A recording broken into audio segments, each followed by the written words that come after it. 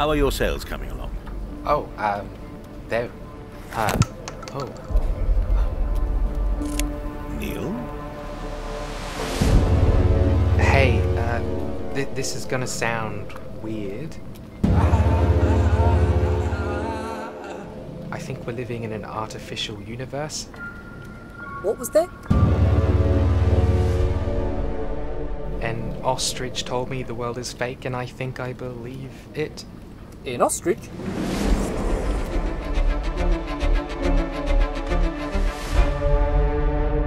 Uh, it's probably easier if you come see for yourself.